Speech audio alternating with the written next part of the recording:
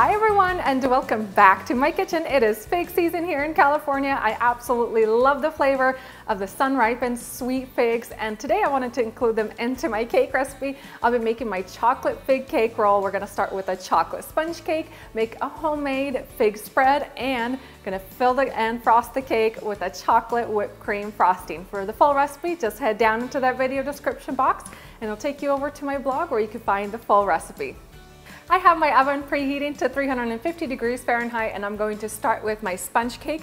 I have six large eggs. I'll pour them into my stand mixer bowl. Add one cup of white granulated sugar and one teaspoon of vanilla extract. And then mix the eggs and sugar together on high speed for about seven to eight minutes until they're thick, voluminous, and almost white in color.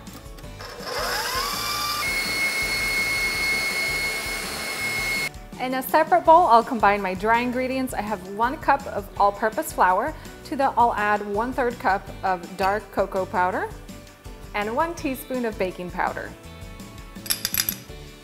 And I'm going to sift the dry ingredients into the egg and sugar batter in small batches. And then gently fold after each addition. You want to fold gently but thoroughly, kind of scraping the spatula from the bottom of the mixing bowl to make sure that you get all that flour incorporated.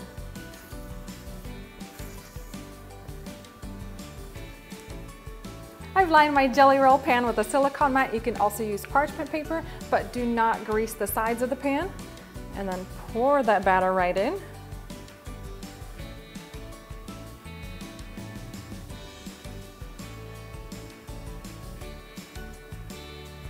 And this cake is ready to go into my preheated oven. It's going to bake for about 18 to 20 minutes. While it's baking, I'm going to get started on that homemade fig spread.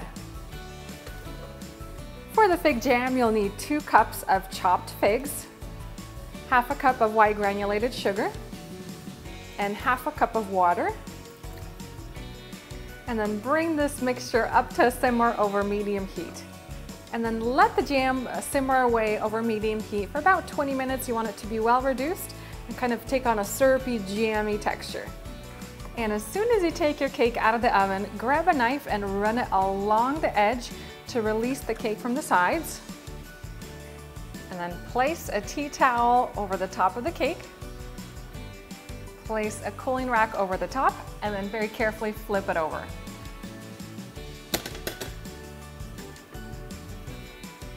And sprinkle the top of the cake with a little bit of confectioner's sugar and then gently roll the sheet cake into a roll. And you wanna make sure you do this while it's still warm, otherwise it will crack.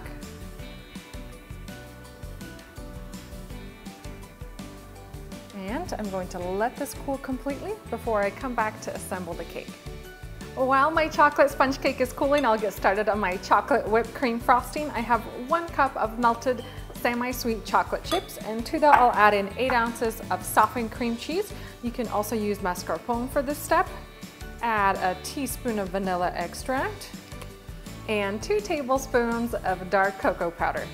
Just gonna add some of that rich chocolate flavor and then beat this all together for a few minutes until you have a creamy and smooth mixture.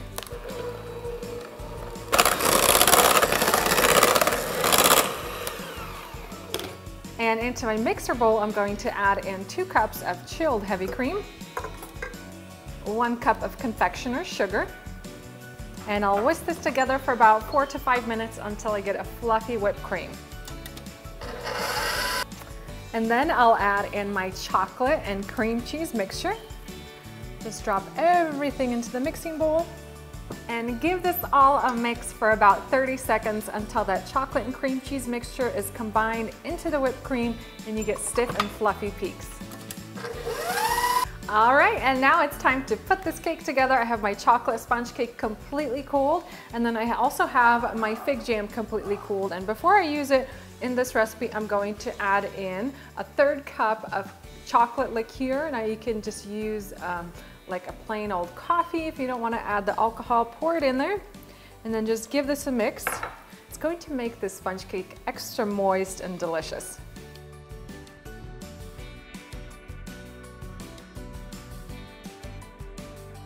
And then spoon on the fig jam that we made.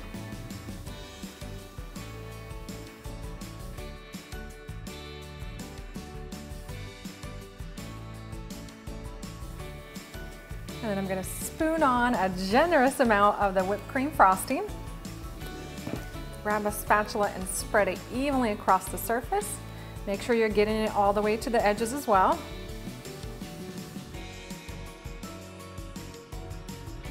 And then you want to put together the cake the same way that you did initially. So start at the same end and then use that tea towel to kind of help you along.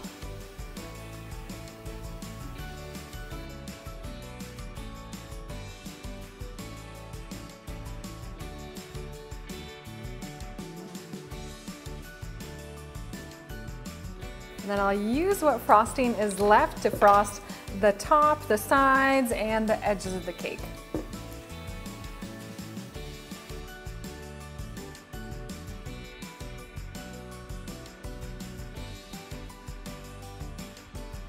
And I'm going to garnish the top of the cake with some fresh figs.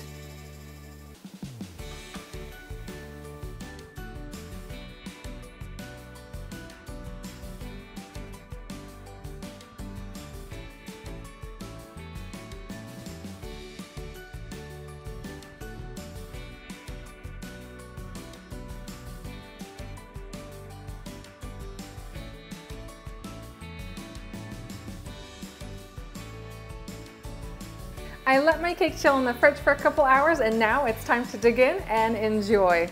And this looks so delicious. Mmm. If you guys love figs, you are going to fall head over heels in love with this cake. It's packed with so much fig flavor from the homemade uh, fresh fig jam, and then I love to add some fresh figs on top absolutely incredible. And then this cake is just so light and fluffy. I just cannot emphasize that enough. For the full recipe, just head on down into that video description box. I have it up on my blog. Thank you guys for watching and I hope you enjoy this recipe as much as I do.